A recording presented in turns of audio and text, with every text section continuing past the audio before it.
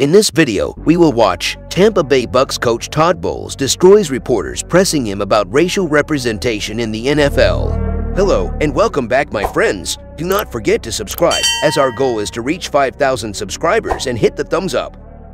Uh, you, you and Mike Tomlin are two of the few black head coaches in the league. I wonder what your relationship is like with him and your thoughts on Steve Wilks joining that fold.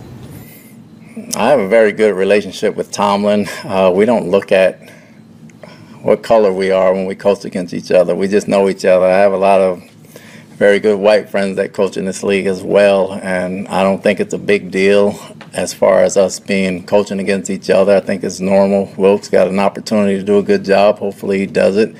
And we coach ball. We don't look at color.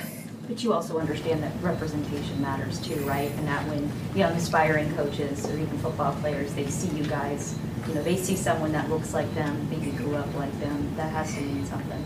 Well, when you say you see you guys and look like them and grow up like them, means that we're eyeballs to begin with. And I think the minute you guys start stop making a big deal about it, everybody else will as well.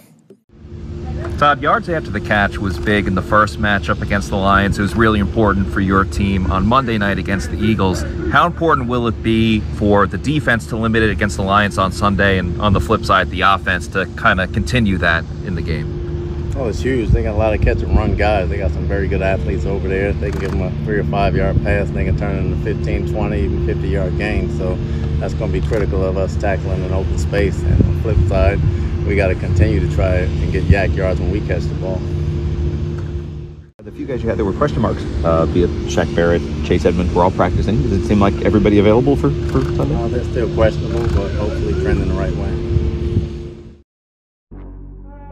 Thanks for watching. I hope you like our hard work. Please like and subscribe to our channel to support us so that we can keep updating you with the daily news and stories. Please share our videos and follow us on Instagram and Twitter. So leave a comment below and tell us how you rate this video.